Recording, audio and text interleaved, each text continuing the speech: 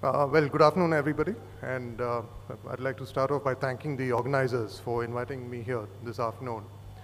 Uh, I represent a company called Azuga Telematics. Uh, and uh, the, today I'll be talking about how telematics can be used in urban analytics and different ways it can be applied to develop, uh, you know, for city planning and for city management.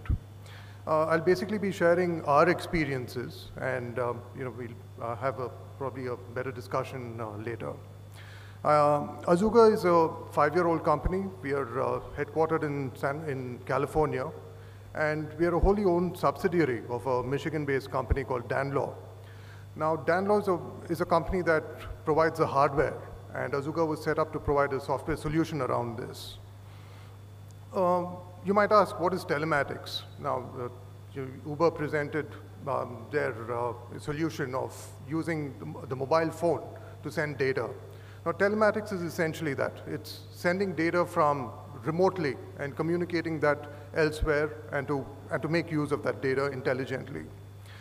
Uh, what does it involve? It typically involves GPS tracking, but it now it's, it goes much beyond that. It involves uh, data coming from GPS uh, sensors. It uh, involves data coming from vehicle sensors, from uh, mobile phones, like we saw in the case of Uber, and also from uh, cameras, dashboard cameras, as well as other applications that can be built into the, into the vehicle.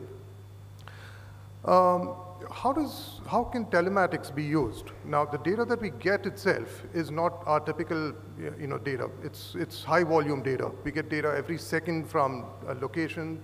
We get uh, data from an accelerometer, which can be one hundredth of a second. So these are large volumes of data that, you know, that needs to be processed differently. So it's basically convergence of telematics and big data analytics and to, you know, to use that for different applications. What we see in our use cases are that it can be used effectively for safety, for collision detection, fuel economy, road usage charging, and a few other aspects. I'll touch upon each one of these in our presentation. But th this is not exhaustive. This is just uh, uh, an overview of what we found to be useful. Uh, primarily, uh, telematics has been used for uh, safety. And that's going to be a prime focus for telematics use cases, especially when we talk about commercial fleets. Uh, the context in India, we have about 150 road deaths every year, and uh, about 500,000 people are injured every year. Now, this can cost the, uh, cost the country almost $58 billion annually, and that's almost about 3% of our GDP. So just focusing on safety can make a tremendous impact on, on our GDP. What are the factors or uh, what kinds of behaviors are associated with accidents? Uh, we've seen that it's essentially speeding, hard braking, distracted driving, hard acceleration, the use of seat belts, and also time of day driving. Uh, there are many research studies that have been carried out, mainly in the US, and these have shown that uh, speeding, for example, can contribute to almost 28% of all accidents. Uh, distracted driving is, it's about 8%, but that's growing as more people begin to use their mobile phones. Uh, when we look at telematics, we are trying to assess driver behavior. So when we have a device that plugs into vehicles, we are monitoring driver behavior.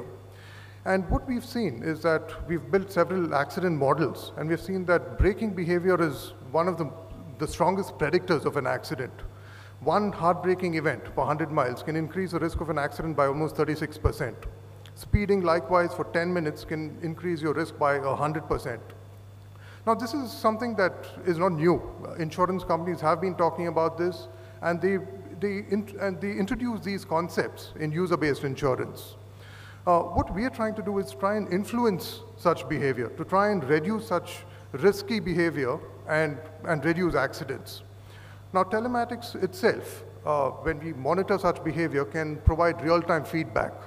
Uh, for example, you can set a threshold on the OBD device. Uh, our device is a green device that you see there. This plugs into the OBD port of a vehicle. Now, the OBD port gets its data from the vehicle's ECU, so it's very accurate data. We get data on different aspects of, of, of speed, uh, vehicle health, and so on. But for driver behavior, we essentially focus on, on speeding.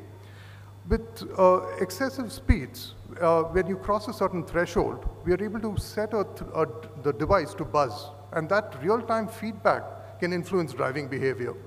Well, we've seen through our data that about there's a 21% reduction in speeding just by giving feedback to drivers on speeding.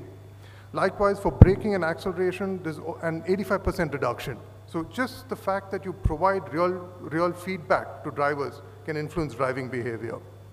Uh, I mentioned uh, distracted driving can also uh, be a significant, factor in accidents. What we can do is to tie, tie in with the, with the phone through Bluetooth pairing and either disable the phone or, or at least monitor driving behavior. Now this is again proven to be quite effective. We have seen a lot of accidents reduced as a result of, uh, of such disabling uh, of the phone. The, uh, I mentioned that the, a camera can also be integrated into telematics devices. We, uh, we have a camera which is integrated. We, uh, at this point, we just provide a snippet, a five second snippet before and 10 second post a particular event. Now this is useful for, again, you know, to, as evidence for any uh, eventuality.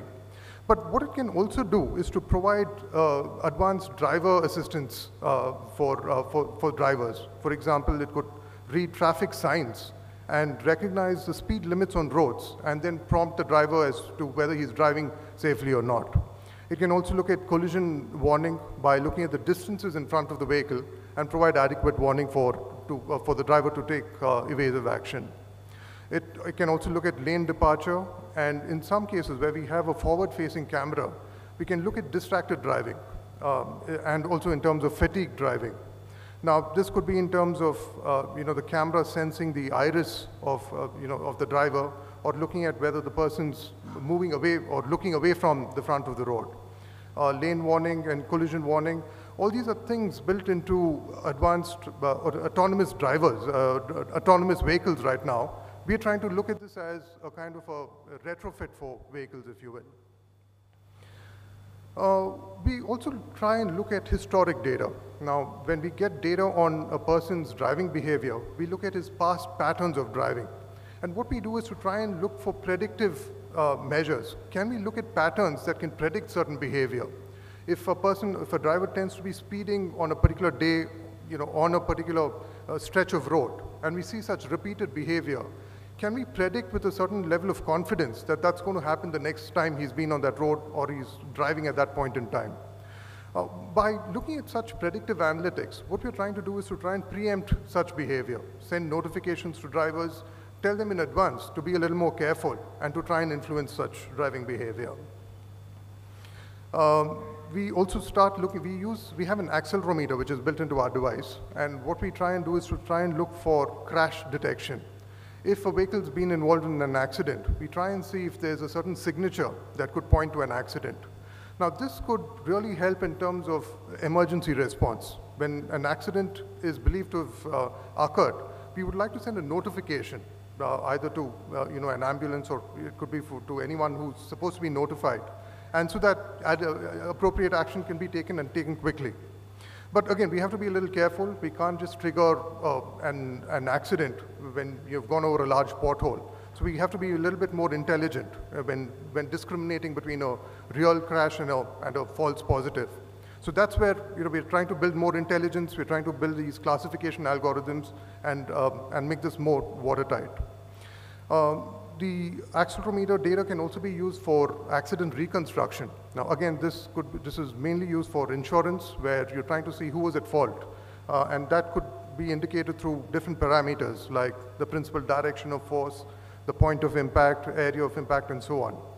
What this can also do is to try and look, uh, it can try and help with predictive injury estimates. Now, if you have a certain level, a certain G-force, that could point to you know, it could either be a minor crash, it could be a major crash, and we could then try and predict what is the level of injury. Could, is it a fatal accident, or what is the probability that it's a fatal accident, or, what, or is it just a minor crash? There are a lot of uh, whiplash injuries. Again, we see that in the US, and these are uh, falsely claimed by insurance companies. Now, this kind of data can really help support and provide evidence for that. Um, we also use the accelerometer for road, uh, road type classification. We have carried out some uh, studies in the US, and we've been able to use the accelerometer to classify roads as good, moderate, and poor. Now, again, this can be used by planning agencies to prioritize investments by identifying areas which have poor quality of roads, and if there's a high volume of movement in that particular area, uh, city planners can take action to, you know, to look and remedy that particular uh, situation. Uh, we get a good uh, amount of fuel data. Now, since our device plugs into the vehicle, we get fuel consumption at a very granular level. At the end of each trip, we know the amount of fuel consumed. And we are able to use this data to build kind of models for either baselining or benchmarking fuel efficiency. One of the things we've done is to look at uh, benchmarking make model uh, fuel consumption by make model year, and not just in terms of the make of the model, but also region specific and season specific models. So at using these models, we are able to predict what is the expected fuel consumption given that it's a certain region in the, uh, that we've built a model for and, the certain, and a certain season. If we then are to compare that expected value with what we get, we can say if the vehicle is underperforming or not, and also look at it in terms of whether it's either caused by poor driving behavior or whether it's a po possible fault with the vehicle.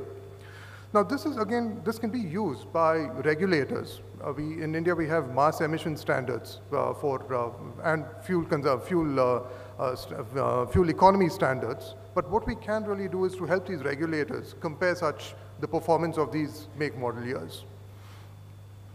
Uh, we also start, look at, uh, start looking at driving behavior and how this correlates with fuel consumption.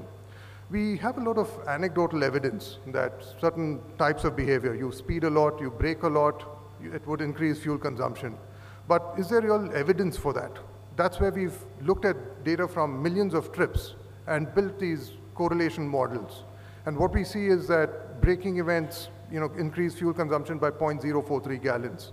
Speeding for one minute increases fuel consumption by 0.013 gallons and so on. Now this, these models are being used by some of our customers to improve and to change driver behavior. So not only do you save on fuel, but you also reduce risk by improving or reducing such behaviors.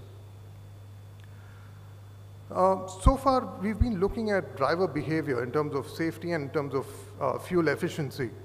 Uh, we also can use telematics in terms of taxation.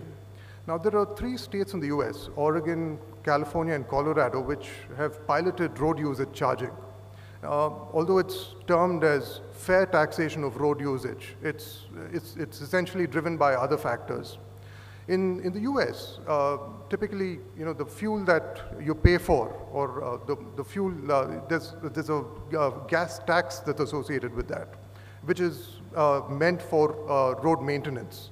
But with more energy efficient vehicles uh, and more, more hybrid vehicles and, and, and, a more fuel efficient fleet coming in, the amount of taxes generated has actually reduced. So governments, local governments are finding it hard to maintain roads. So they've tried to pilot road user charging using telematics. Uh, this uses a GPS device. It uh, tries to look at the miles that you drive, and then it and it charges that particular vehicle based on the miles that's been driven on in that particular state. Uh, we've also been looking at remote emissions monitoring. Uh, I mentioned that our device connects into the OBD port of the vehicle. So we get a lot of DTC events, we get a lot of uh, PID information from vehicles. This is, uh, you know, your uh, different uh, kinds of faults that lie within the vehicle. And that can be sent to the Department of Environmental Quality. They carry out a test remotely and see whether that particular vehicle is likely to have passed or failed an emissions test. Now this is again piloted in Oregon and other states are considering this as well.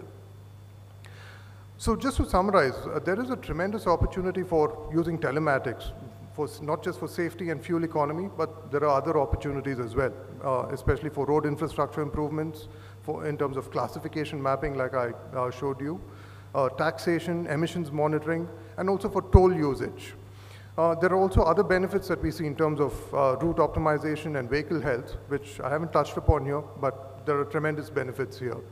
Uh, in India especially, this is something new, it, it's, but it's hard to really break into the market because of cost. And what we are trying to do is to try and work with insurance companies. Because once we have insurance companies on board, the, the, the data that we get from that can be short, shared among different stakeholders. And it can benefit not just uh, insurance companies, but uh, cities as well as uh, you know, other uh, um, government agencies. So with that, I'll uh, end my presentation, and uh, I'll be happy to chat at the end of the session.